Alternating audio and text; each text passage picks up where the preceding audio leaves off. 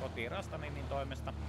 Ja nyt enää sitten yksi pelaaja, Jussi Pekka Casual Gaming Academylta jäljellä.